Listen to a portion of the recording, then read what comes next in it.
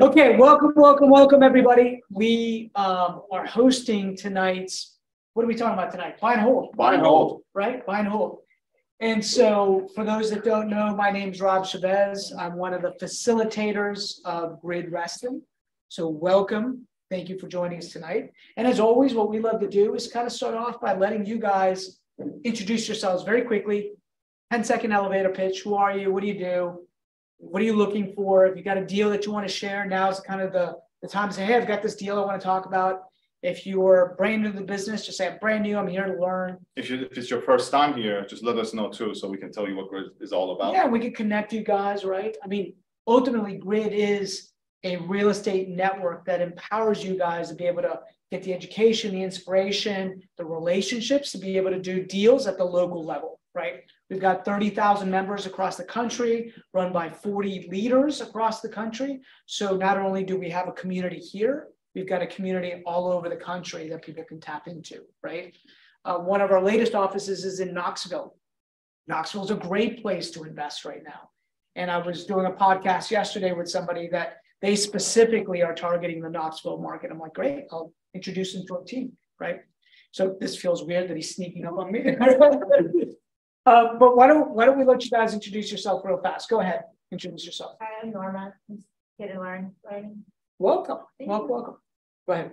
My name is Mike. I'm a member of the CAZA Group and I'm an agent and investor. Um, on the investor side, I'm looking at other markets like Knoxville right now, since interest rates went up, it's a little bit harder to make things work here. And then as an agent, I help I help investors, often first-time investors, um, specifically house hacking. Um, I help people house hack. We call him the house hacking king. That's like right. Go ahead. Tim Tower, I moved here about a year ago. We're looking to buy a house in this area. Once we get established with our own home, then we're gonna start looking at investor properties. Right. Lake Anne's an awesome area. Indeed. Right. Go ahead. I'm Sloan Wiesen. I'm a Reston Realtor. I do some buy and hold investing and I just recently dipped my toe in a little private lending. So buy and hold and private lending and uh, uh, I, I help out clients in the Reston and surrounding areas. So Good to see you, Sloan. likewise. Go ahead. Hi, my name is Akash. I live in Ashburn. Uh, so this is my second second meetup. Uh, I'm over here to see if I can find my first rent. Uh, it's local or any other market, but again, any other outside market is kind of scary because this is my first time. So not sure how I will be able to be working outside market. But yeah, that's all. Welcome. Go ahead. Hey, I'm Nivian, um, still live in New York, um, I'm buying some fixer uppers here and renting them out. Um, I have a handful of properties in the northern Virginia area. Great. Hey, Justin Shutters. I have a couple buy and holds, uh, but my full-time job is I am a commercial lender with Bank of Clarke. We have a office in Tysons Corner and other branches in Northern Virginia. So uh, any commercial property or any one to four family dwelling uh, that's held in an LLC or corporation, I can help you out with that, including BRRRRs. I had a couple a couple people last week were asking me for your information. So we gotta make sure that we got it out. Like I was like, I didn't have it readily on hand. I gotta make sure I have it readily on hand. And Mark, I think got your email. Yeah, so Justin uh brought pizza, except he didn't, because I didn't tell him until he pulled into the parking lot, but yeah, we're good. Ah, Next, next time, we might even feed you because Justin made us a wonderful offer and we're gonna take him up on it. Cool. Uh, Thank you, Justin. Go ahead, gentleman back. Uh, my name's Carl, uh, this is my third attempt. Trying to get into real estate, Okay, but it's also my first time at this meetup. I heard good things about it when I met Ali over the weekend, so I'm here. Uh, my objectives, I'm looking for folks that can help me out with wholesaling. And also, I'm looking for folks that can help me out with financing as well, so I'll love to chat with you and see how that can work out. But, uh, I have some cash that's set aside in the trust, I like to use that, but then again, let's just see if I could probably do, you know, you know, no money down type of fan, financing, there's gotta be some creative ways to do this. So that's the second thing I'm looking for. And the third thing is anyone that's involved with um small apartment buildings, maybe eight, 10, maybe twelve units. I'm looking to do that, but also bounce some ideas and kind of um talk to you about that. In addition to doing some fix and flip. But I'm planning for the long term, so I need passive income, so that's why I'm looking for the small apartments, so if anyone's in that, we're up to, uh. No, chat with it before you head on out today, okay? Yeah. One of the things I'm gonna recommend everybody do, if you haven't done it, is that we have uh a five thousand member Facebook group that's completely free. Where you can go in and start tapping to P, tapping into people from across the country. So there might be some other markets that you want to explore as well besides this area, Yeah, right? Yeah. Okay, great. So go ahead, you know, it's just, I think it's great. So that's uh. Facebook, uh, Grid's Facebook communities. At the end of the slides, we'll have the link for that. So make sure you take a picture and you can go and sign up. You have to be approved to be a member of that, but the link is on our slide. Yeah, the link is on the slides, right? Okay, go ahead. Introduce yourself. Hi, I am Hannah Claire, um, involved in all things real estate, just trying to network and get back more into investing these days. Good to see you again. Go ahead. A Contractor, trying to, learn more internet. Great. Good to have you here. Hi, uh, my name is Naman. Uh, I'm not in real estate. I work in the tech industry, but I help, uh, my dad who is in real estate and I've been managing, uh, one of our residential properties for the last eight years and I've been really getting into the numbers.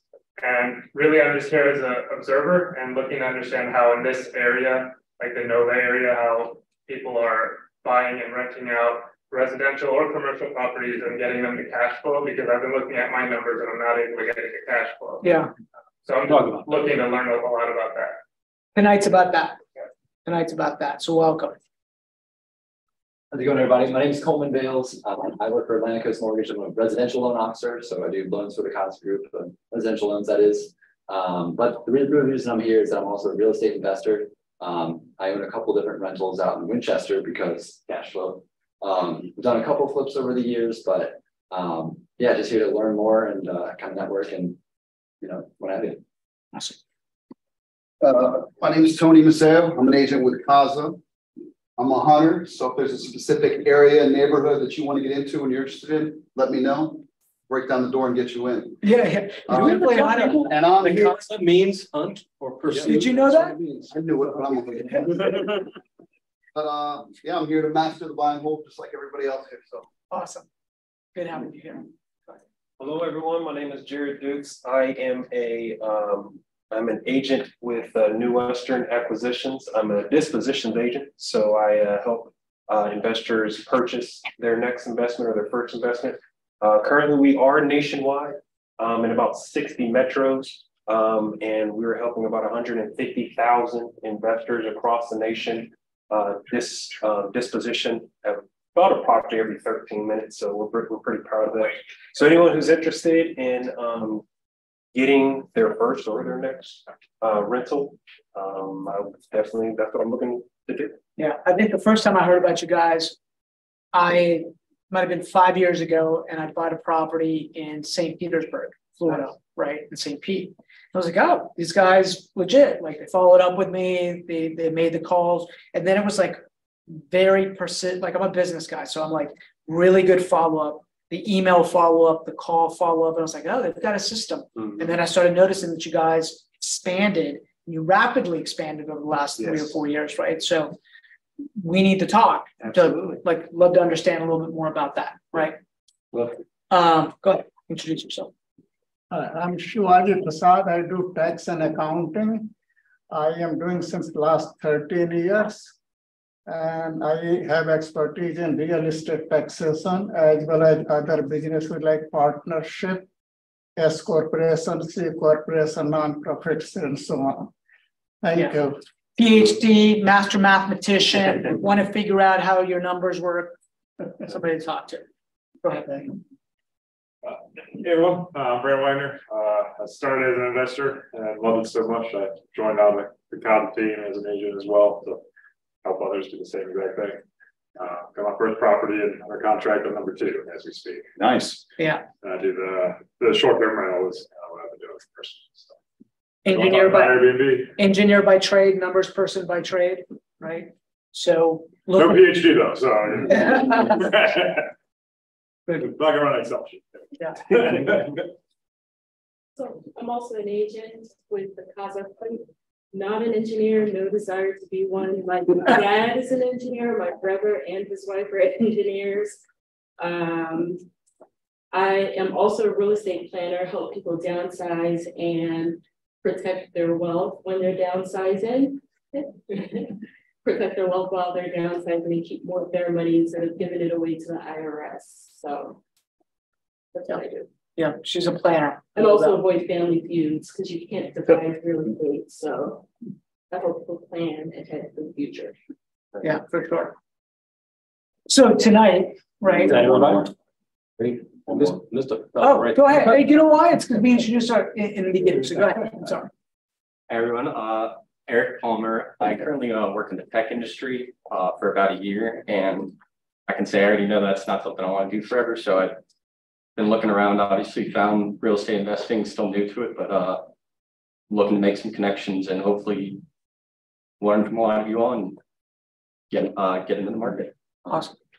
What, what I will say before I let you guys go, right, is because uh, I'm going to let you guys kind of take over, is the purpose, the reason why we started this, like the reason why Mark and I have been running this community, this specific one, for the last 14 years. 14 years, the first Tuesday of every month, right, is because we understand that the relationships in here is what fuels investors.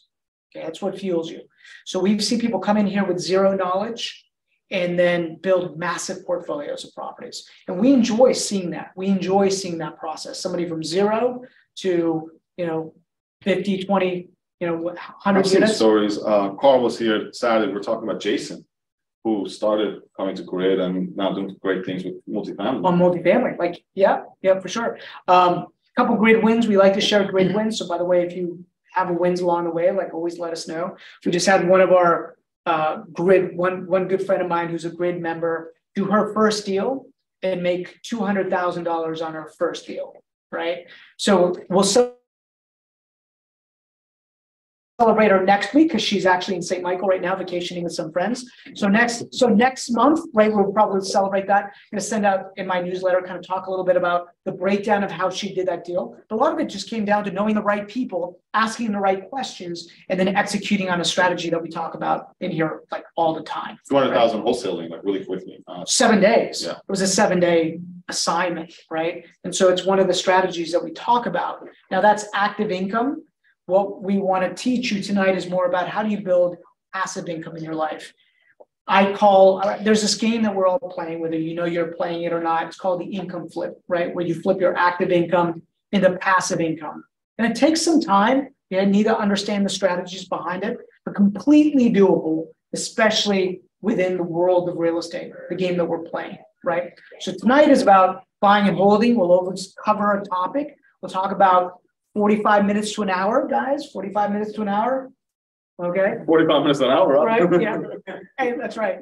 And then, and then, and then we're gonna let you guys do what we believe is the most powerful part is exchanging information, putting each other in each other's databases and communicating, right? So, uh, with that, who are you?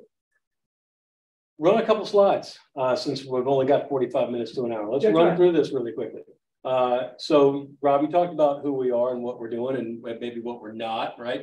Uh, we are, uh, educators by nature, but not professional guru trainer types. We're just gonna kind of talk about what this business is for us and how it works. Hopefully it connects some dots for you.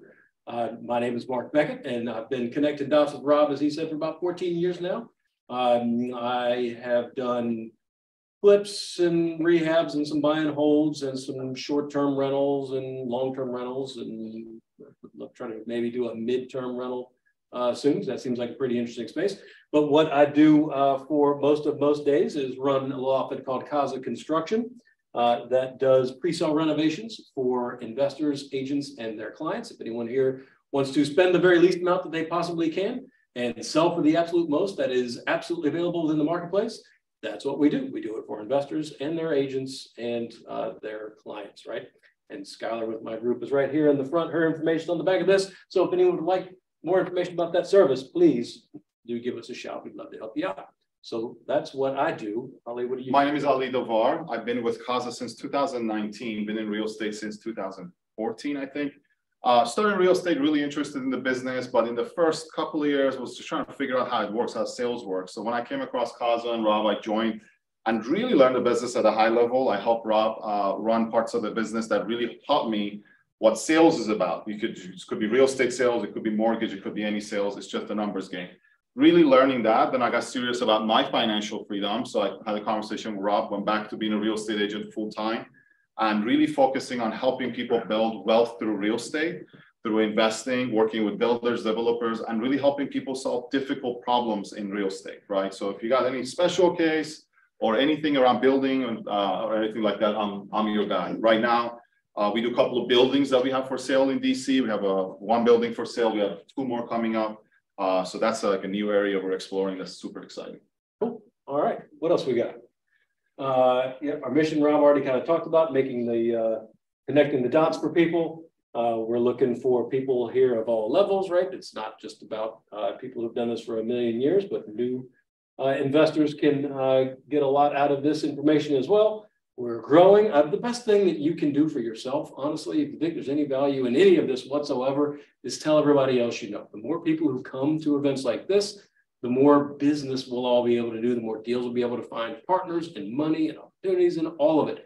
The vast majority of my business, my flips, my rehabs, my money that I borrow, that I've lent, business partners, friends, all of it has come from this activity. I know it works. It'll work for every single one of you because probably most of you are much smarter than I am. So just tell everyone you know that this thing is happening and it will work for you too, right? So that's that's the power of getting together and talking about what we do. So that's what we're doing. We talked about you and we talked about legal stuff. Yeah, I'm not an attorney. He's not a, an accountant that I'm aware of. Uh, and do your own due diligence, right? Uh, and then the other thing legally, I think you need to know this is being recorded. So if you're not cool with that, get out. Uh, but otherwise, we're not going to like zoom in on anybody's faces. But do know we do record this stuff, and you'll be able to find those recordings later. We'll talk about that in a bit. All right, so housekeeping stuff uh, out of the way. Buy and hold is what we're here to talk about because, as Rob said, it is probably one of the most transformative things human beings have ever discovered. The fact that I can own a thing, have someone else pay for it, I make money in the meantime while it goes up in value. Great. Uh, it is exactly what we're trying to do. Uh, what does it say here uh, next? Yeah, the basic definition of a buy and hold property is any property that you purchase with the intent of owning it while someone else is paying for it.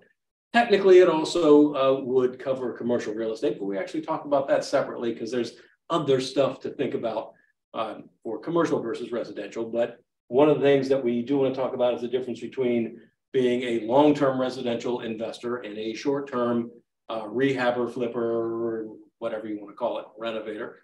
We do that too, uh, but this is where real wealth gets built. You can make good money renovating. I make good money renovating, uh, but you make it, it's done. It's ordinary income. You pay the absolute maximum uh, amount of taxes on it that you can pay on any kind of income, and then you're out of business as soon as that house gets sold. So while that business is good and wholesaling is good for the amount of money you can make for the effort, buy and hold and owning assets over the long term that you're not paying for and that hopefully are putting cash in your pocket while someone else is paying for it is one of the great wealth wealth creators, right? Uh, that mankind's ever developed. I think also long term, like uh, the way I looked at it, like this year, really especially, like there are some people around me that went through some difficulties, like somebody had a stroke that, that couldn't really walk anymore and like having to actually not cash out of some things, right? And in our world of real estate investment, we're always looking at the next deal, right? As an agent, as an investor, what we talk about, that's active income, right? That's money I'm like working for when I'm working, it's coming. And the moment I stop working, it's, it's not going to be there anymore. Now, if I have a job that I get $50 an hour, $100 an hour, um, the question is, if I go and do some like real estate investment. Let's say I'm going to do some wholesaling or flipping. I'm taking my time and doing something else. Some of you are in sales, and in sales, sometimes it's like I can do more of what I'm doing. As an agent, I don't need to go find a flip. I can just go deeper in what I do, so not get distracted. But creating wealth to create passive income is totally a different game, right? So really being aware of like I'm dollar per hour, like what's the best use of my time, but also what do I do with this money? So as I get older, as life changes, my standard of living doesn't change or go down, but I'm actually able to create security for myself and for my family. Speaking of which, security for yourself and your family uh, doesn't really come up in the topic tonight, but if you have the ability to take a note, take a quick note. Google stepped up basis for me uh, when you get a second. Here's one of the best things about real estate. Keep it for as long as you can, preferably die with it. Uh, because when uh, anyone inherits real estate from you, they inherited what's called the stepped up basis. If you bought it for a dollar and it's worth a million dollars the day you die and you pass real estate to someone else, their basis for tax purposes is the million dollars that it's worth today. And that million dollars you've made on it as it's increased in value in order to them tax free. If it goes up another million dollars, they sell it in their lifetime, maybe they'll have to pay the taxes on that. But stepped up basis is one of the currently available uh, wonderful tax advantages to long-term real estate. Uh, so of which there are many, many more, and maybe we'll even talk about a couple of. So considerations then for buy and hold, uh, slightly different than they are for a flip, but a few things are the same, right? I think we talk about in the next slide a couple things. Yeah, a couple things uh, you're going to need to know if you're going to invest in anything. How much cash do you have? Does take a certain amount of cash. There are creative ways to acquire real estate that don't require as much cash, but the easy way, the typical way, is to have some amount of cash that's uh, the equity in the uh, property that you don't borrow uh, to pay for it. You can buy all in cash, of course. We believe in properly debt leveraged real estate, though, because it tends to increase the return on your investment using proper leverage, which we'll talk about in a second. I think we've got some people here that can talk specifically about leverage and what it costs and what it does for you. Um, your long-term strategy, obviously, as I'm saying, these are lifetime assets, perhaps even beyond your lifetime. So know what your time horizon is for investing. Uh, some people like fix and flip because in six months you are done. And hopefully, as long as that project goes well, you wash your hands of it, you move on, you do whatever else you want in life. An asset that you own forever will probably need something occasionally to be done. How you do that and who does that is the thing we can talk about, but it does involve you in the thing. Involving you in the thing owning anything uh, means it's going to need to get fixed up. You're going to need to borrow money. You're going to need to put somebody in it. You're going to have agents involved. So there's that. No, that I necessarily want to call it hassle. It's not really a hassle, but those people will be in your life. So understand what your capacity is for dealing with the people, right, that are going to be involved in your business of owning things. Um, and then risk tolerance is another thing. Uh, if you own a thing, there's always some amount of risk involved in owning a thing that's got some attachment to you. There are ways to remove and obfuscate that attachment to you. And we can maybe talk more about that because that gets into a little bit deeper stuff that we can chat about just in 45 minutes to an hour. But risk tolerance is a thing that you need to understand. And then uh, what else do you get on uh, your money? Investing in other things. Real estate is one of the things that we uh, believe is one of the greatest investments, but you'd probably done all right if you just stuck all your mattress money in Tesla stock uh, for the last couple of years. So know what your options are, know what your return is, know what your money costs you, so then you can appropriately uh, run numbers on real estate, see if it makes sense, right? Uh, yeah, and then where do you want to hold rental properties? We'll talk in a second about where we do most of our uh, buy and holds, but spoiler alert, it's not usually in really great neighborhoods. It's not really terrible neighborhoods. We're market stuff. Uh, how long do you intend to keep it? We talked about how are you going to manage uh, a property or two? Are you going to manage a dozen properties? That may change, and that will change your costs, and it will change who you need to know to get it done. Uh, oh, and then rate of appreciation. That that's part of it. There are things beyond just the rent that affect your income on a property. Will it appreciate or not? Do you have tax benefits or not for other activity that can be washed by uh, the property that you own long term? Uh, so understand those things. Uh, and the more you kind of understand about, about where your money comes from and what it costs you and what you're taxed at, the, the better sense you can make of your real estate deals when you're looking at it, right? And that takes a thing that might just be, oh, it's a thing I own for a couple hundred dollars and turn it into a thing that is worth tens of thousands of dollars a year to you if you understand leverage, arbitrage, taxes, uh, and those things. So we encourage you to do that work and, and understand those things as well. Make sense?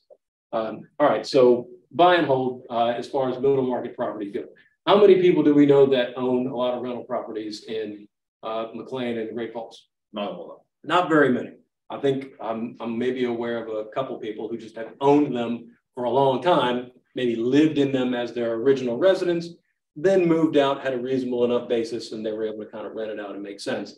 Um, but I think someone was asking earlier, I'm looking for deals around here. It's really hard to make the numbers work.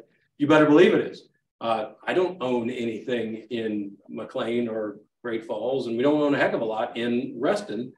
Although we were able to pick a few up uh, at the last downturn, right? In Reston and Herndon, uh, when the market changed and when the market dropped, we were able to acquire properties at numbers that kind of made sense. But by and large, we're not investing uh, in our long-term rental portfolio in nicer neighborhoods because the numbers are just really hard. And this is just fundamental macroeconomics. The rent cap is where it is in an area. There's only so much free income that people have to spend on their housing, right?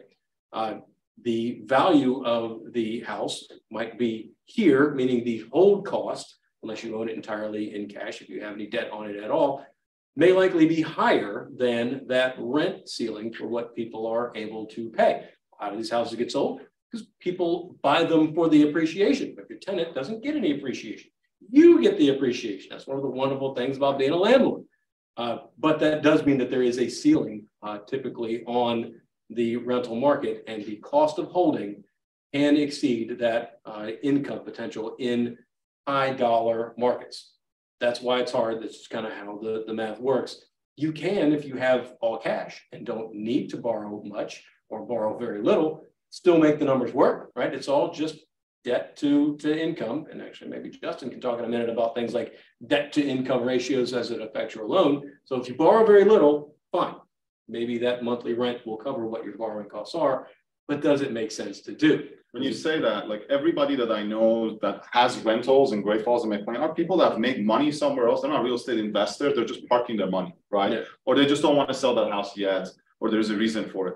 Because if you really look at your cash on cash return, like why would I not divide this into multiple properties and let the appreciation work better for me or right. borrow against it? Versus like just buying that that expensive property is usually not a good investment compared to correct right? Because that that cash is not generating a very good return even if you don't have much debt on it. Because a million dollar house is still only going to rent for five six thousand dollars a month maybe the nicest house uh, in the area just about and even if you can make a couple hundred dollars on a million dollar investment, that doesn't make as much sense as buying something in areas where we're buying. And in this area, that means Herndon, Woodbridge, Manassas, Winchester, uh, sometimes even farther out, depending on where the market is, than that. Stafford, um, I think I already mentioned Woodbridge, but farther away, right? Think half an hour at least from here and out generally not towards DC, kind of half an hour out west, uh, was where the numbers will tend to make a little bit more sense. Um, I'm not a big fan of investing in low income, high crime areas myself, uh, because I find that that decreases the quality of the tenant, increases the amount of maintenance required on the property, but that's just me. Anybody here own uh, Section 8 housing or housing in a lower income area? What's your experience been with that? Um, in retrospect, I wish that I had done it different. Those are my early, my ones early on. I've learned since then. Okay. You know. And in lower income or income subsidized uh, rental property is not necessarily a bad thing. It's just not a thing that I think I am able to speak directly to. I do know people who uh, own exclusively Section 8 government subsidized rental housing and love it, do very well. There's something to be said for having someone else besides the tenant responsible for making the bulk of the rent payment. But it is a specialized kind of ownership, and I think it's a specialized kind of management experience that you need to be uh, aware of and prepared for. So the bulk of what we typically invest in and see invested in are what I'll call kind of side metro markets, not the main market. Uh, just because the numbers tend to work better in those kind of not as expensive in inner area metro markets. You would talk about zone, right? Um, and I know we've changed around a little bit, but like uh, Z O N E, like zero in on your target market, own the mind share and the market share. So zero in on a target market, like somebody might start out and, and trying to figure out what is the area that I, the best sweet spot for me to buy rentals. Is it is it the higher market, mid tier market, lower market? Is it condos? Is it townhouse? It might be different for like there might be a smart and good answer but there's also gray areas where maybe it's good for Mark, but it's not good for me, right? Maybe I want to take high risk. I'm younger. I can maybe tolerate that risk and somebody else doesn't want to.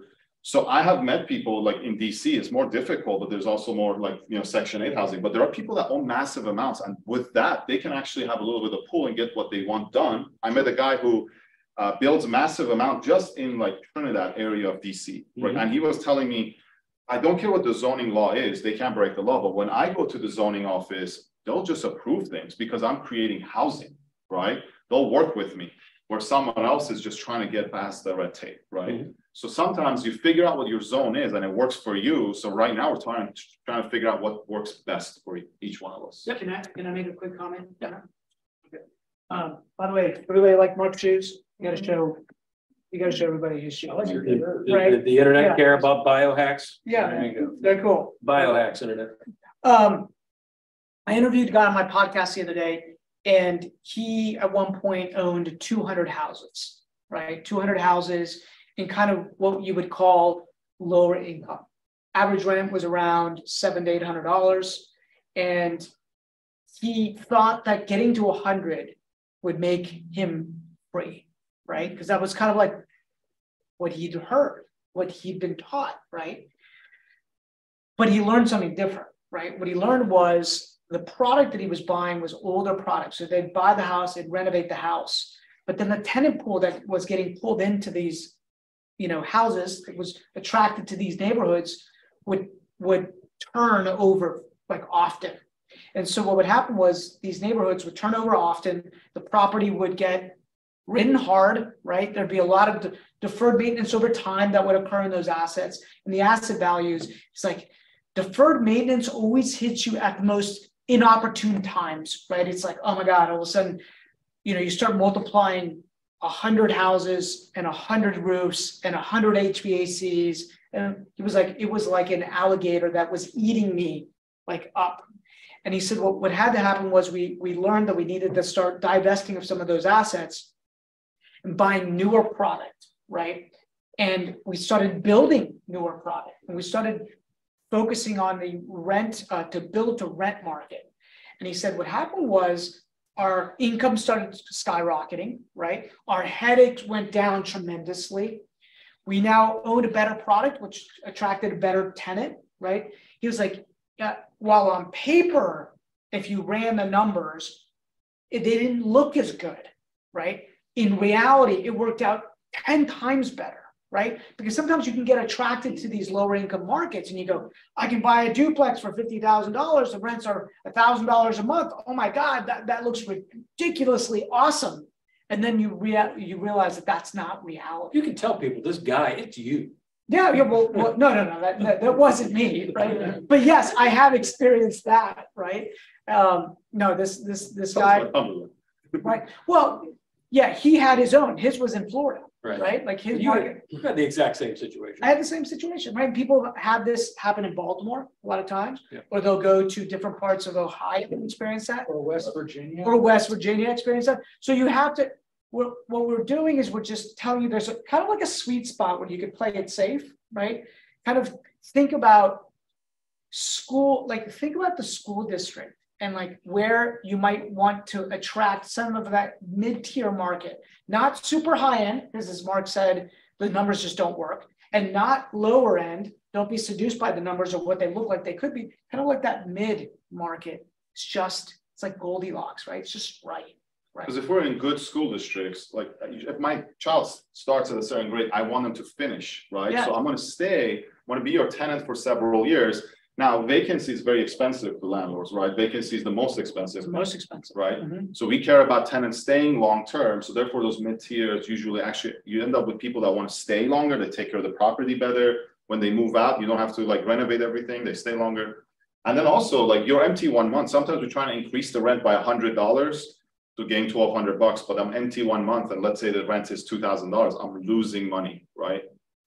Yeah, work, workforce housing here in Reston, Herndon, Sterling market is like so strong.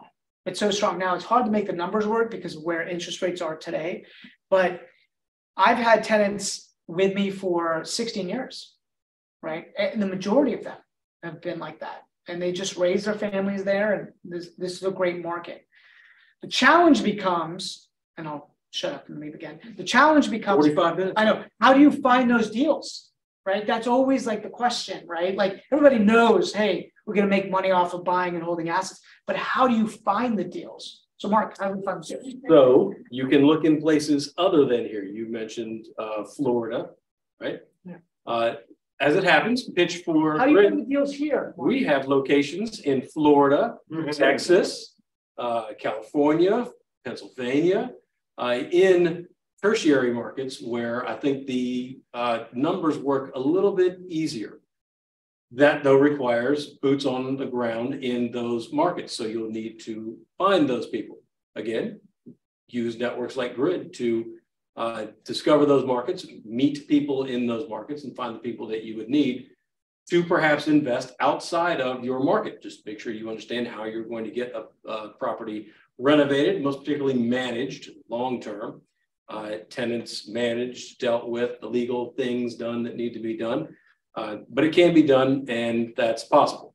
But there's also like deals even in this market, like what you're saying, like you find what you're looking for, right? Like if I tell myself there is no deals, I won't see it. But if I actually believe that in every market, like Tokyo is crazy, right? But you will find deals there. So if you if I say, you know, there are deals here, two things. One, I might have to go a little, let's say I'll go to Stafford or Woodbridge. That's one thing. There's good good areas that that you can find, you know, good cash flowing properties.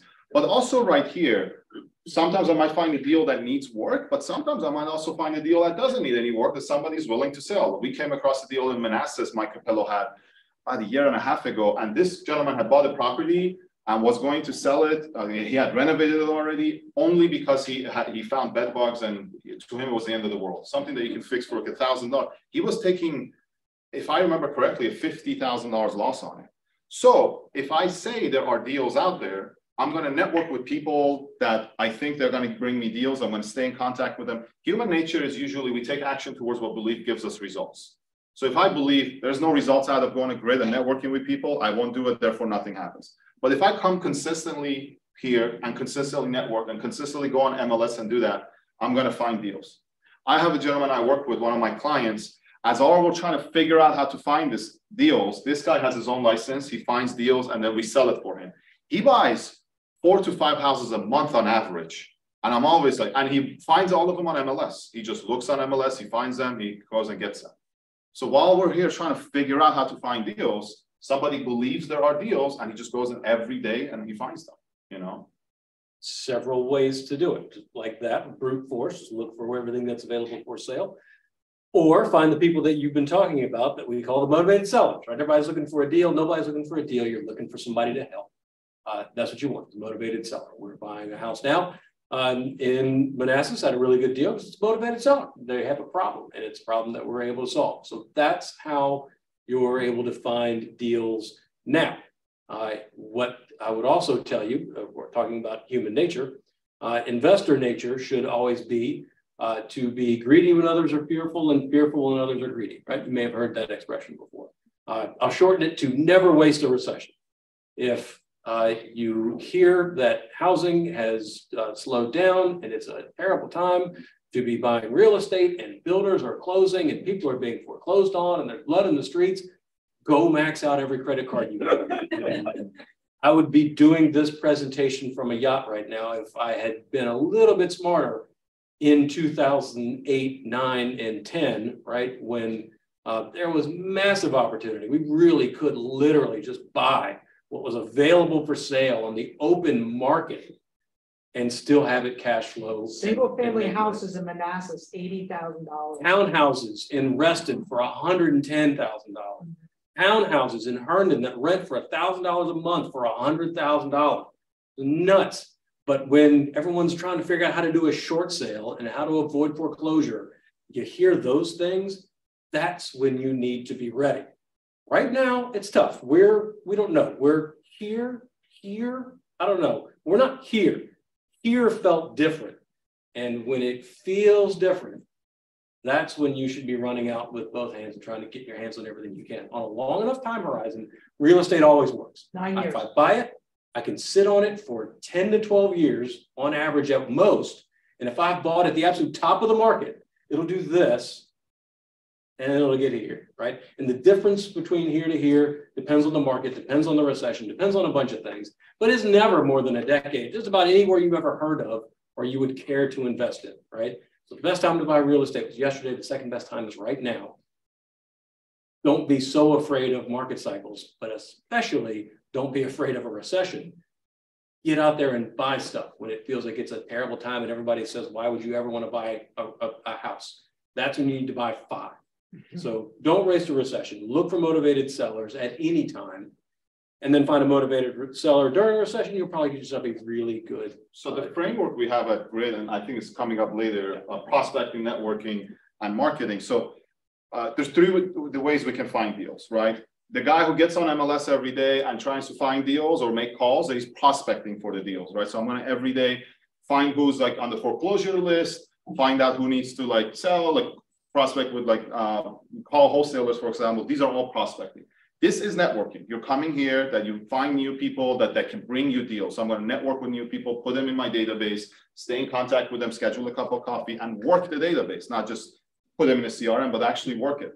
And third is marketing. I believe in the beginning, like first of all, you treat this as a business. So if you have no revenue, you don't have a marketing budget. But once you have a revenue, you put a per percentage of your revenue towards your marketing budget, and not just like we buy uglyhouses.com or some of those companies you start actually marketing for deals to come your way. So those are the three ways that at Grid we find is in any sales job, whether it's finding homes to buy as an investor or as an agent or as a, any type of sales job, those are the three ways to find deals. 100%. Right, what else we got? Totally off the about, slide. Talk about Market Island.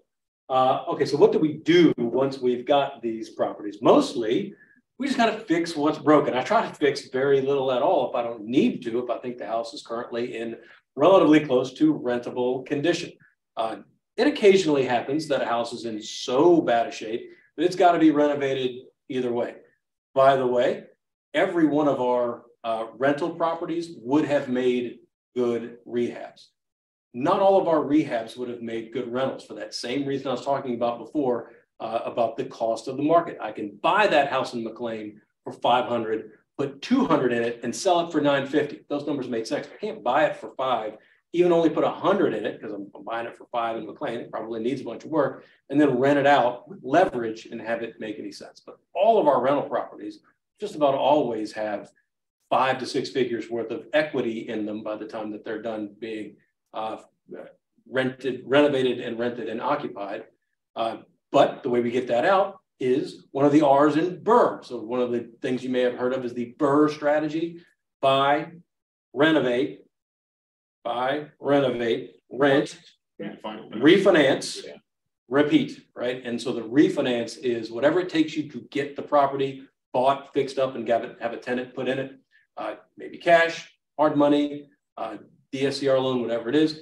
Do what you got to do to get it, fix it, get it rented out. Then once it's stabilized, to go to the regular uh, banking market and say, great, I now have a fully occupied rental property. I'd like to refinance, please. Take as much money out as you can and still have it work and still have it cash flow.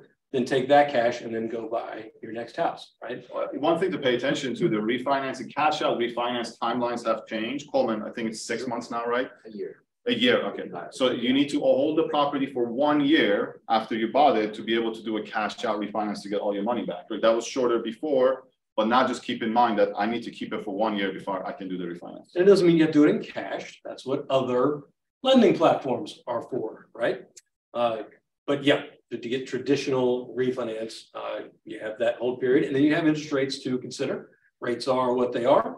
Uh, so uh, who was it? Was it Lauren? I think made the video the other day buy the house and date the rate. Uh, wait for rates to go down and then refinance again if you need to, right? Always be working on getting your borrowing costs down while your rents and hopefully property value go up. Uh, wait 10 years, wake up rich. So fix what's broken, paint cabinets, we're using LVP, carpet. We don't put in hardwood, we don't put in fancy stuff in a rental house because we're not buying fancy houses in fancy neighborhoods. So LVP and LVT and carpet and painted cabinets work perfectly well in the houses that we're buying for rent. Unless it's STR. Unless it's STR, this is not short-term rental that we're talking about. This is not Airbnb, this is long-term rental. When you, like, you have two comparable homes, same size, and, and one is really decked out, like super nice renovated, and one is just normal, you're not gonna get that much more rent. It's Really not, you're not gonna get, get your cash back out. For sure. Yep. Uh, yeah, and again, the only exception is if it's already just trashed anyway and I have to renovate it, then we might renovate a little bit nicer because the delta between uh, a cheap cabinet and a nicer cabinet, the delta between a laminate countertop and a quartz countertop isn't that bad if you've got to gut it anyway. I'm not going to make that extra $800 back. Maybe if I don't have to right now, but over like 10 years, I will, because you will get a little bit more rent for a place that's nicely renovated. So if you've got to do it anyway, then we do a, a, a reasonable job uh, on renovating. But mostly we'll patch if we can patch, we'll fix if we can fix, we'll glaze if we can glaze, and we'll always paint if a thing will look a little bit better with paint and then still be rentable until its lifespan is completely eaten up and then you replace it. Uh, all right, so let's talk about property management, how uh, I approach property management. Have rental property. I'm a professional landlord, have not once ever uh, personally uh, answered a call about mice or a toilet or a light or the power or the whatever. Uh, it's just not my thing. Um, but in order to do that, somebody else has to be taking the calls for when the power goes out or the toilet quits working or they see a rat or whatever uh, the case may be. I actually heard from our property manager the other day uh, that a tree came down during the storm and split their rental house in half. Uh, so they're looking for a builder for their client uh, to perhaps replace their uh, rental property. But anyway, stuff happens. Rent's got to be collected. Uh, if uh, you're interested in having someone else do that, that's property management. And property managers then will charge you on average somewhere between 7 and 10% of your gross rents um, on an ongoing monthly basis. And then at turnover, so when one tenant leaves, you need to go find a new one to be uh, put in, somewhere between one half to one month's rent. So that's kind of the going price range for a, a qualified quality property manager. If you need one of those, please ask us. We know them. Uh, we're partnered with them. Uh, but somewhere in seven to 10%, depending on where it is, how much hand holding the property needs and you need as an owner and what services you're looking for. And that half month to one month of rent at turnover is what it costs you. But for that, if your deal can afford that, I get a call every once in a while, I get an email, ping, the thing's not working. I run a construction company, I have to go fix my own units. Property manager takes care of that. He's got a guy, and unless it gets really expensive, I'm really concerned about what it's going to cost. I don't need to worry about it. All of that gets done. If you want to pocket that difference though, fine, you're going to be saving seven to 10% off the top of your gross and then a half to one month's uh, rental every time that the place turns over and you have to put somebody in it. You will just have to deal with calls about the things not working or I can't come up with the rent this month or can I move out in June instead of January or whatever it is. You'll get to answer uh, all of those questions. I believe in property management because property management allows me, yeah, Salome's answered those calls before. Property He's management "I'm so allows me like, to, to do what I'm good at. Run my business, look for deals, network and talk to people. I'm not Also, good to at get to a being certain level, a it's- professional landlord. Oh, sorry. It's um again about your time, right? Maybe I'm at this uh time a point in my career where I'm ready to just have this as free time. But also maybe I'm actually can do something that I can make more money with my time. Maybe I'm spending X number of hours a month dealing with problems that come up, and I can spend that X hour a month finding new deals, right? So maybe you get to a point in your career where this is not a cost versus it's an investment, right? Just like hiring an employee that's going to make you more money. I'm hiring property management, right. so I can go make more money. Exactly right. That's a good way to think about it. Your property manager is your employee. Uh, and that, that's a good way to think about it on a few levels. Yes, a property manager probably doesn't look after your property the same way you might if you are a professional uh, property manager yourself. So they still need oversight. They're supposed to be producing reports for you and make sure that tenants are dealt with and make sure that problems are solved and things are fixed.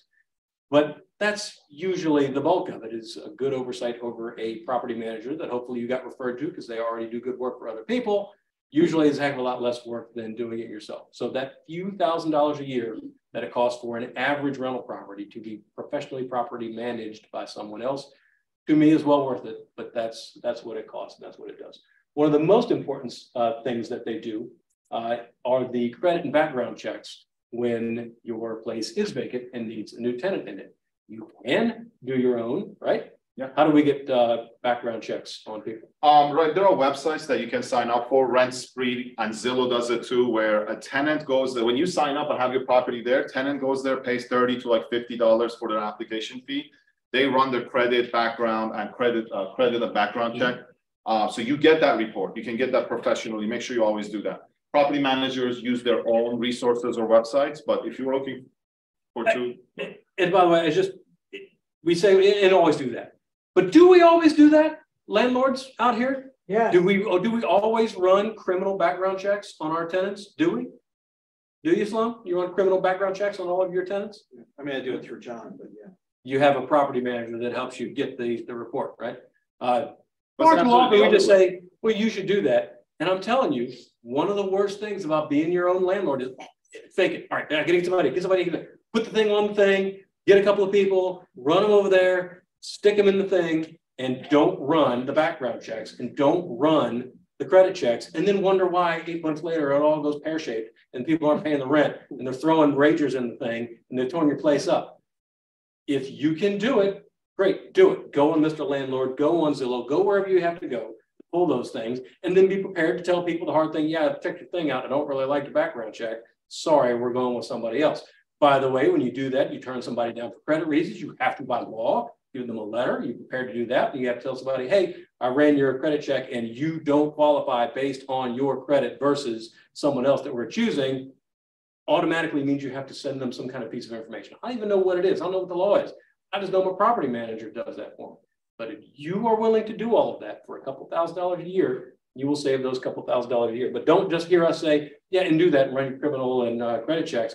Run your criminal background and credit checks. And let me cut through the rest of it on property management. I never want to be the person on the other end of the phone. That's ah, that's terrible. I, I broke my leg. My kid is sick. My wife's got cancer. My dog just died, and my car broke down. Can you give me till next Wednesday to pay the rent? I'm a terrible sob story person, right? I feel too bad for everybody. But this is my business. And if I can't pay uh, for the mortgage, you're going to lose your house anyway. But I don't have to say that. My property manager does. Like, yeah, I get it. I'm sorry. That, that sounds terrible. This is not my house. This is not my call. If your rent's not here on the first, 10 days later, you get a notice. If the rent's not here on day number 11, you get an evict. If that doesn't work by day number 30, we're in court and your ass is on the street at day 45. And it's not because we're mean people. This is a business. I work for someone. This is how it has to be. And if you can't have that conversation, then you must pay somebody to have that conversation for you because you will go bankrupt if all you do are buy houses, rent it out to people, and let every sad story defer your rent and keep you from doing what you need to do. And I will end up buying your house from you because one of the people we target are unhappy landlords, right? Write that down. You want a really good target market? Other landlords who have done it wrong and have been stiffed and have to chase and have terrible tenants and have their house torn up, they will beg you to buy their property from them. But then don't screw it up for yourself. Get a property manager. So what you're saying is stick with the rules, like the rules you set for yourself. Like I'm gonna, you know, check the background every time. I'm gonna, you know, do X, Y, and Z. Do that all the time. I have a story around this. So we had a before uh, I was part of CAZA. I was at Long and Foster. We had a listing for sale for two million dollars, and this wasn't selling, right? And the uh, the team I was part of, we decided to take on a, a tenant, right, to bring to this house. And the wife was an agent, and instead of accepting cashier check, we accepted personal checks for secure deposit and first month's rent. Well, it bounced mm-hmm. on a house that we couldn't sell, and now like there's somebody in it that's not leaving, right? What do you tell the owner, right? So stick with, and it was the owner's decision to take a personal check, but stick with the rules you have versus, well, this is a special occasion. I'll I'll make one difference for that. Yep. Good advice. Just Yes. a- Just, just a philosophical. And it's seven almost. Okay, philosophical question about running a business, right? Yep. This is just. Why don't most more small business owners hire a property manager to run their business?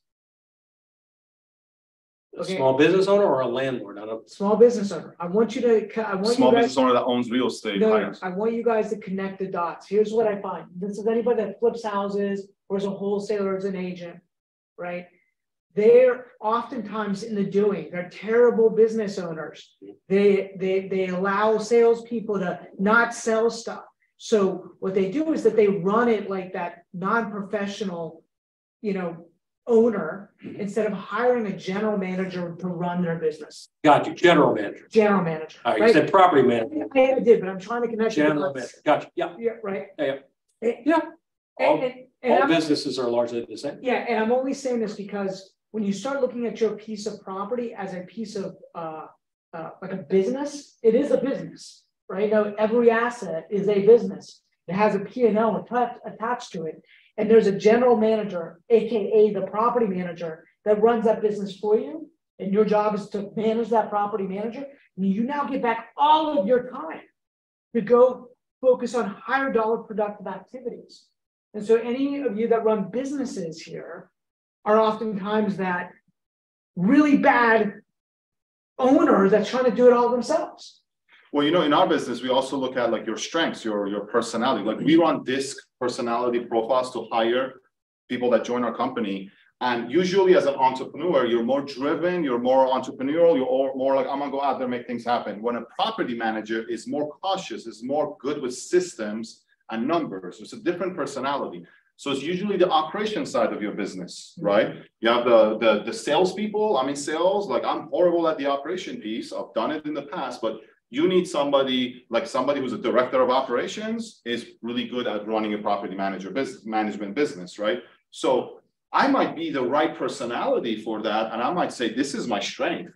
I might say no, this is not. So be honest with yourself, right? If it's not your strength, you're really trying to do something that's going to take a lot of your time and energy. I'm gonna go change our meetup description. Uh, come for the real estate chit chat, stay for the entrepreneurial business training. Um, uh, but the point is well taken. These, these are businesses, run it like a business. Coleman, you had a point. Yeah, so I, my question, I think, is like on this slide right now, but I was gonna say, if you have somebody that has good, uh, like, like rent multiple, um, clean background check, and the last thing you're looking at is credit. Um, say they're, maybe even they have hundred percent on time payments, but their, this number is really low, like, Mhm. what, do you have a number cutoff? Mm. That you're looking for? Or is it kind of case by case based on what you're seeing in the report? Yeah, uh, I, I don't have a cutoff number. Because that's your property manager's job.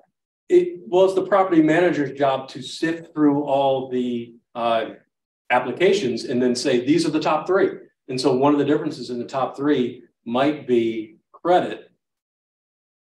But I guess my, my point would be if you have credit under seven hundred and you do have a perfect rent payment background elsewhere, somebody didn't get paid. That's why it's seven hundred, right? So at some point you weren't good with credit somewhere. So there does need to be a, a floor. And so if I had uh, a uh, seven hundred credit, good landlord references, uh, no pet, and seven seventy credit, good landlord references, and a pit bull. I'm still taking the pit bull in seven fifty, uh, rather than seven hundred. So I don't know that it's necessarily that I have a number. Dude. It- It's not that I have a number. One hundred percent no. Uh, he's think- about to go. I- Okay, Tom, you- so a couple things So- I'm gonna say. well, this- this is tell- a- this is you a can tell- landlord- landlord you check. tell Mark has eight hundred plus credits, first and foremost, right? Correct. When he, seven hundred is like a low number, well, that's actually a good number when it comes to the rent. Obviously, he doesn't manage his own property. I see the application. Uh, Because, because eight hundred credit people, here's here's your takeaway. They don't uh, rent uh, usually. we'll, we'll get to the slide as to as to why and how you get 800 credit. 800 credit people live 800 credit lives. Yeah, that's the takeaway. I don't care what they do.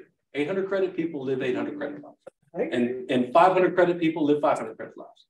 So I disagree. That's saying that's 700 is actually a really good credit score. Well, you know the numbers are different now, right? The max now is like 850. So, so I think one other thing we need to pay attention to, Coleman, is like somebody who has low credit versus somebody who's maxed out all of their, their credit, right? Somebody who's maxed out all their credit is looking for money, right? Like they're trying to like, like, oh, go, maybe go up. And also maybe they've applied for too many inquiries recently. They're trying to find another credit card that they can live off of. So just like a bank, when you have a lot of inquiries, they stop giving you credit cards because they realize you're trying to just find money. Like do the same thing, right? Like how much credit do they have available? Outside of like just missed payments, those two things Can I give together? you an example? So Yeah. I, I have a property vacant right now, trying to find a person for it. 800, 700 credit people are usually buying houses compared to, uh, and so It's like seven hundred credit people, right? seven hundred people. Oh, buying houses. Okay, let's. I'll do a credit, you know, six twenty, I'll do one for you, but, um, so they have great, they, they, they, they just got out of a divorce for one thing, and so they've had to, they run up their credit utilization to the max, so you're right, they need a lot of money, there's inquiries. That's why it's low. They have hundred percent on-time payments, they have a great new salary at their new job, because they finished school and they've got a great, you know, great rent multiple, background checks totally clear. Um, quarter million dollars of student loan debt. And but so the payments, uh, the DSCR, like, like if you look at their debt to income, it's still good, like they make great money. But even though hundred percent on-time payments, their credit is below six hundred, it's like five seventy, just because of the credit utilization. Yeah. I'm wondering if I should run. Well, I mean, if you look at case by case, You know. usually people don't want to get evicted, right? So somebody who has history of like making payments, I can look at it case by case. So in those hmm. cases, what you can do is a six month security deposit, three month security deposit, case hmm. by case, you know, my client is five fifty only, he's not getting, I will pay a whole year security deposit. I think in Virginia, the maximum security deposit is two months. Yeah, the maximum you can collect as a landlord is two months and you should never collect rent upfront. Somebody might say, just give me the whole rent upfront, then you can't evict them. So never, if you go to a company, if you go to Exo here and say, I will just pay the whole rent upfront, they won't take it. You just have to pass their uh application. So don't collect rent upfront and maximum in Virginia is two months of security deposit. I don't know about other states. But I mean, a lot of clients who's less than six hundred, they are not able to find the, you know, on, on front like six, six month, three months, you know, and they, they expected the landlord. What you can do, uh, in lieu of just a normal rental in that case, is maybe do a rent, a lease option. So you know what? Uh, you're gonna buy this, uh, Mr. Whether you Mrs. like it or Tenant, not. at this price, at this strike price, I will give you an option to buy. Then you can collect whatever amount you negotiate. You can collect a higher amount per month. You can say, market rent's two grand, you're gonna pay twenty-five. Now that twenty-five, I'm gonna take a hundred of it, I'm gonna put it in uh, an account for you. And then we get there, maybe you buy this as an option. Of course, you have to sell it if everything comes together, but that never happens. You know, they say that Come the back to two that months is the, is the, is the max, but who's checking? Number one. Rob is being recorded. Okay, no, I, The attorneys will be checking. yeah, yeah. And what are the penalties, I guess is the question. Like, what's the penalty for collecting? three Yeah, so here we're giving you what you should do the right way. Obviously, there's a lot of creative ways that we can do things. But again, what we're saying is there's always a solution. Like if I, if I talk to the person, if I look at the whole application as a whole, like look at patterns. If there's a lot of patterns that have repeated, like if there's just like they went through a divorce and everything fell apart, but before that everything was good, that's a different, different story than, oh man, there's this pattern that's coming up every couple of years, right? And hit the next slide, because I think I want to make. And a- yeah, Oh, wait, no, it's it's right here. Uh, It was right there. Sorry, go back one. Yeah, keep rents below market to encourage renewals and better tenants. Uh, the best thing you can do for yourself is if the market rent for a home in your condition in the neighborhood is two thousand five hundred dollars a month. Try to make your numbers work at twenty-four and watch what happens. Tenants will slit your throat to save fifty dollars a month if they can get a better deal and move somewhere else, right? If they feel like they've got the best deal in the neighborhood, though, number one, on the way in the door, you're gonna get fifty applications.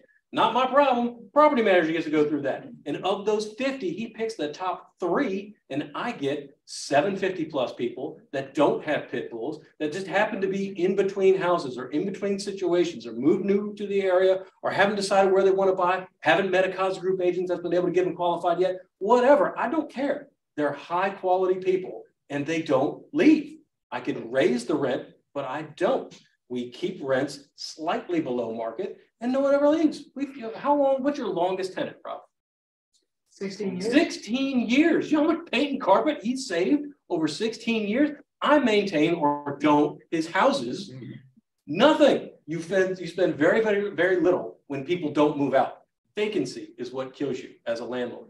So cost yourself $1,200 a year by being $100 a month below market rent and thank me in five years when your tenants haven't moved out and you haven't had to repaint and recarpet and refresh and re-put a person in, spend two or three weeks finding them losing rent, spending a month's worth of rent to your property manager to put the new guy in there. Sorry, property managers, they may not like that. They'll tell you, hey, raise the rent, raise the rent. Because every time the tenant moves out, they get another month, put another tenant in there. That's okay. Uh, they'll, they'll still live, they'll still eat.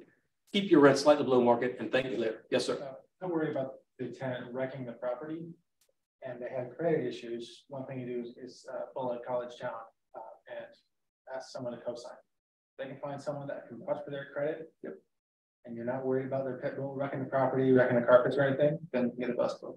Co-signers, right? We do that with lending all the time. Sorry, your credit's not quite good enough. Who do you know that's got better credit that we can put on this loan with you? That I've got somebody that does care about their credit and they will make sure this thing gets repaid. Or in your case, they will make sure that our unit is treated well and that the rent gets paid. Absolutely. That's one of those solutions, right? You find a way to make the thing look better and, and meet your requirements. Yeah. we got about 10 minutes For, left. for a long-term tenant, um, uh, do you still over time periodically raise the rent a bit? Still keep it below market, but you still do periodically Of course. raise rent. Yeah, the, the rent goes up. That's one of the greatest things about uh, rental real estate. The rent always goes up.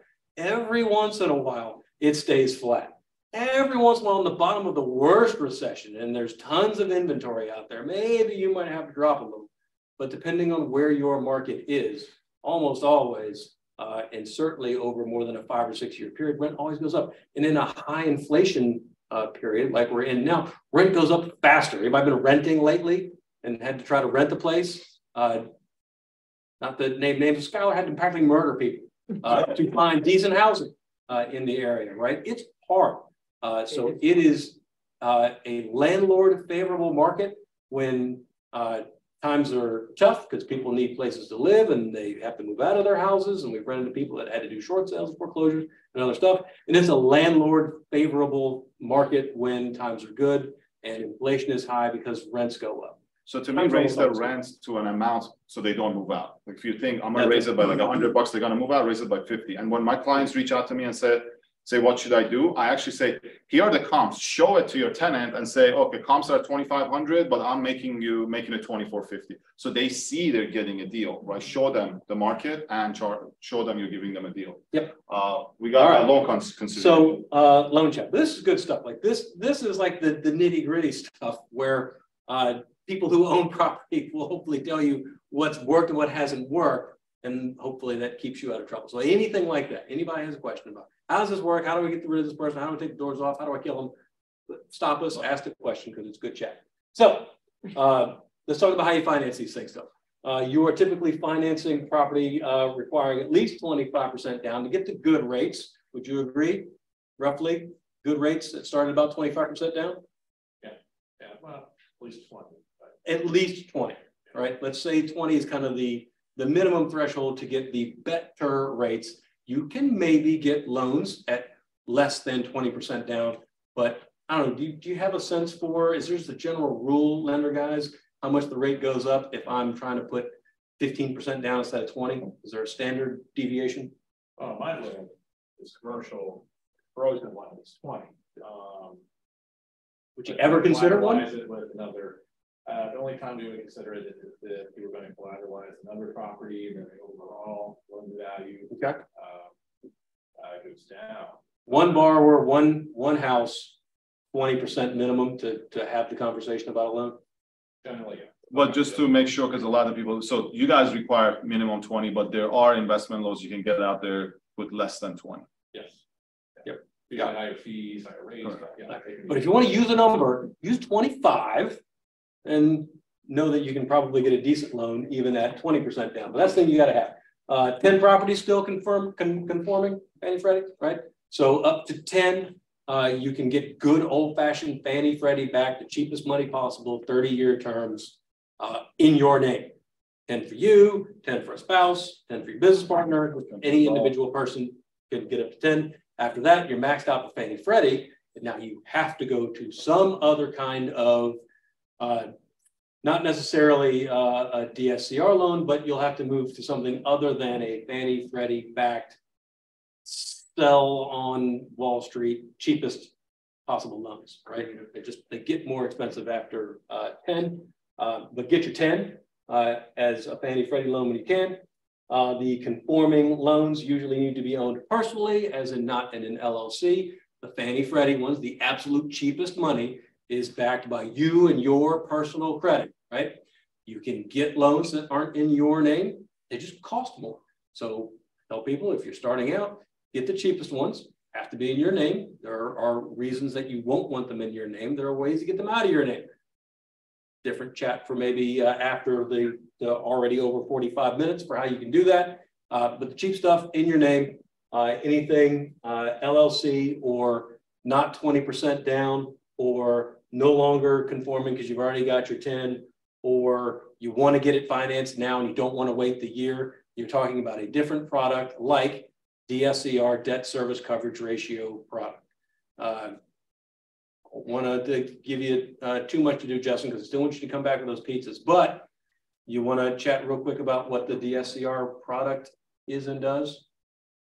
Yeah, so just speaking from the commercial side, uh, you know, you're gonna take the income that, uh, preferably a property that's already leased, you have a lease in place. Uh, you have some historical numbers to look back on and reflect on. Uh, you're gonna take the income there, the expenses, and also with ninety-nine point nine nine nine percent of commercial loans or small business loans, uh, you are gonna have to personally guarantee it. So anyone that has twenty percent or greater ownership in that LLC will have to provide a personal guarantee. So they're also gonna look at your personal income, okay, your personal debt, put all that income together from, you know, what the property's generating, what you generate, maybe you got outside income or the regular W two job or whatever you got in your tax return. Divided by all the debts, so the mortgage on the subject property, and then, you know, your own mortgage, your own car. Payments, your own credit cards, your own debt, divide that. Hopefully it's about one point two five times, the higher your result is, the better. But in a nutshell, that's how it works. So uh, if the uh, principal and interest on the mortgage that you want to take out, divide the thing is thousand dollars a month, you want to be showing at least one thousand two hundred and fifty dollars a month in income against it. About right? Yeah. Cool. Uh, uh, reserve, Coleman, uh, last time I checked, six months. Yeah. Pretty, pretty standard. Uh, so if uh, that principal and interest, is that PITI or is that just principal and interest? Please, yeah. So principal, interest, taxes, and insurance. Let's say that costs a thousand dollars for you to own this property. Plan on the bank saying, cool, show us where you've got six thousand dollars stuffed away somewhere so that you can continue to pay us if your tenant takes off, right?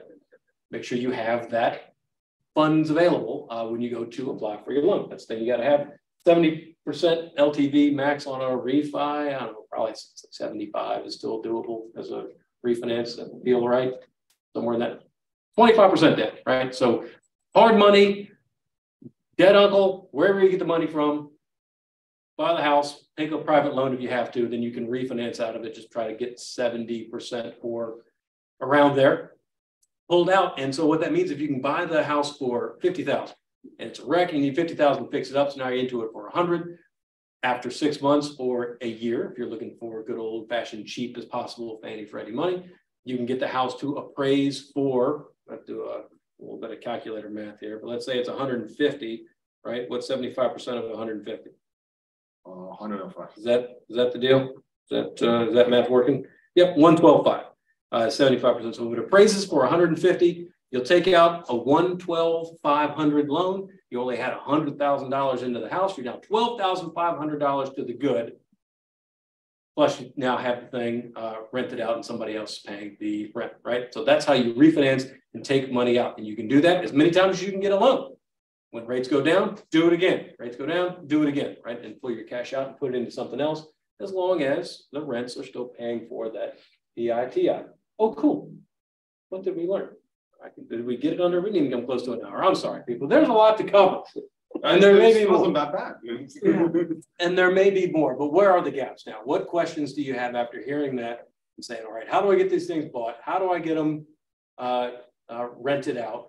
And how do I make it so that somebody doesn't steal all my money and burn my house? So because we won't have time for networking, let's spend ten minutes, maybe going over questions.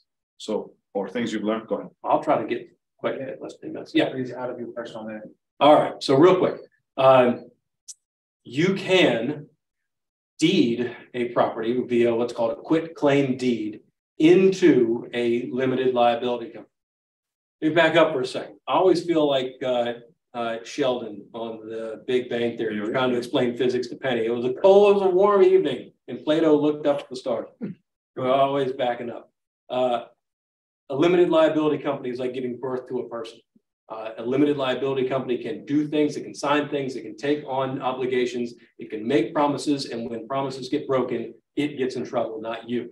That's the gist of what a limited liability company is. It's like a baby that you control, but it's out there doing stuff. I guess that makes it like a teenager getting in trouble for stuff. With the keys to your car. It, it suffers the consequences, not you, assuming it was structured properly, assuming you run it properly, conversation for a different night. What you can do though, once that LLC is formed, is you can quit claim deed a property into that LLC and say, all right, LLC, you now own the property. Mark no longer owns one, two, three Main Street. I go to closing, I get a title company to agree, write it down, put it in the land records. One, two, three Main Street LLC now owns this property. And so if anybody falls down the stairs, house burns down, throw a raging party and somebody gets stabbed, I'm, I'm mad at the owners of uh, one, two, three Main Street. Yeah, cool. You got a real beef, buddy. You're mad at one, two, three Main Street LLC. Go sue them. Can't sue me. That's what it does for you, ostensibly. Uh, how you get there is through that quit claim deed. One big hangup with that could be, however, if you do have a loan and you went to somebody and said, hey, give me a loan uh, for this property, please. They'll say, great, you want the best possible rates, put it in your name, run your credit, you vouch for it, personally guarantee it, great, sign away. Loans in your name and you quit claim deed ownership of the property into an LLC if or when your lender were to discover that you have deeded ownership of the property into an LLC that they didn't underwrite, they didn't make a loan to this LLC, they made a loan to you, they may, and if you have a loan done in the last 50 years, you almost certainly do have in your loan documents what's called a due on sale clause. And when you sell or transfer ownership, not really even just sell, ownership, when you transfer ownership, which is what I did, I took it out of my name and I quick claim deeded it into an LLC. Technically, lender finds out about that, they're able to say, uh, we didn't loan the money to this thing. You have 30 days to either pay off my entire loan or get this thing back in your name at their option. Uh, because we're not cool with this thing that you did. That is a real risk written into every deed of trust document that I've ever seen written. I don't know what the landlord ownership is here for the quick show of hands, but just what we've got. Anybody here ever lost a house through due on sale? I haven't, but I thought, maybe I'm um, incorrect about this. I thought a law was passed to uh, prevent bank from doing that if you do it to an LLC over a person, something like that. Either way, even if, even if I am incorrect, uh, wouldn't you be able to, um, what is it, uh, do a land type, of land trust? Land trust. All right. To go around that? I don't know how much time we've got. You said 10 minutes. It's enough. well, that's what I'm saying. Like there, there are there are nuanced answers here. The short answer to your question is how do you limit your liability for owning this thing? The easiest way is just a crap ton of insurance. Uh, very rarely is there a problem that exceeds the limit of a, of a good landlord policy. First of all, always be honest with your insurance company. This is what I'm doing.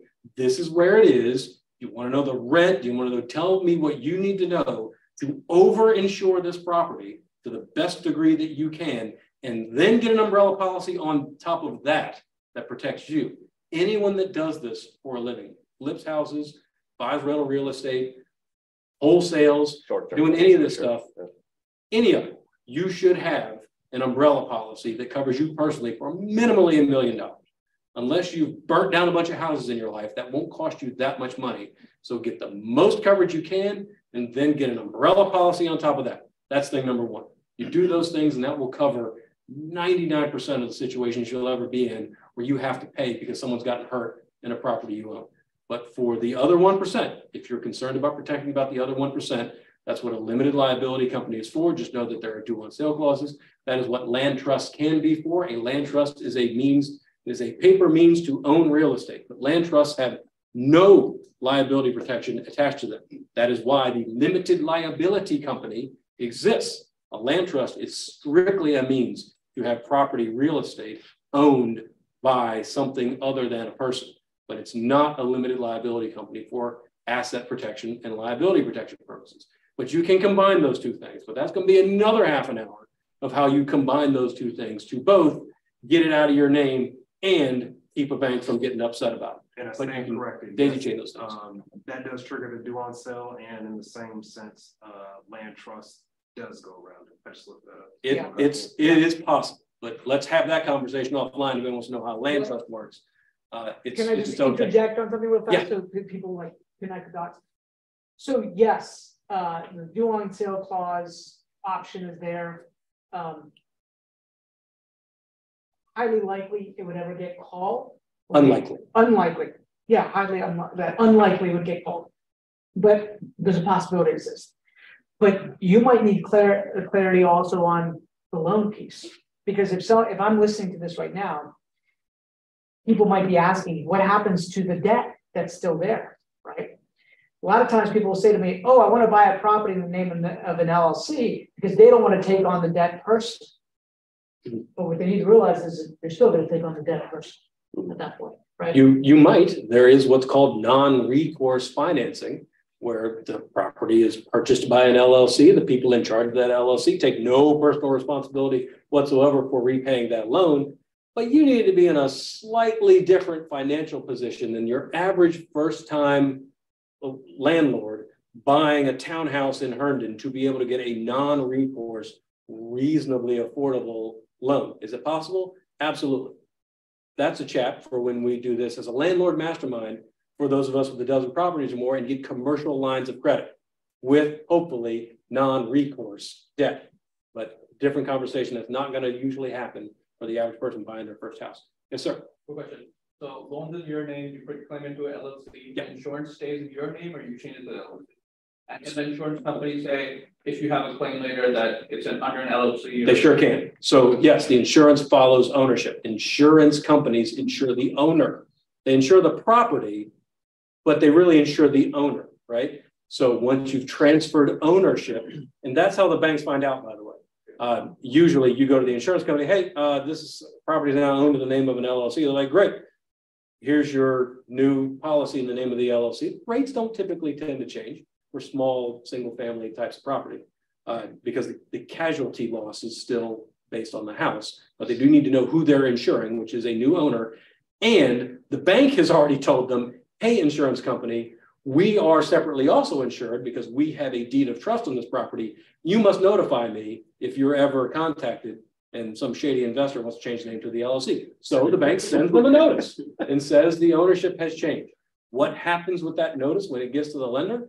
Most of the time, balled up and thrown over in the corner because they're not in the business of upturning the apple cart of loans that are performing. Banks have enough to deal with rather than go digging around for loans that are being paid.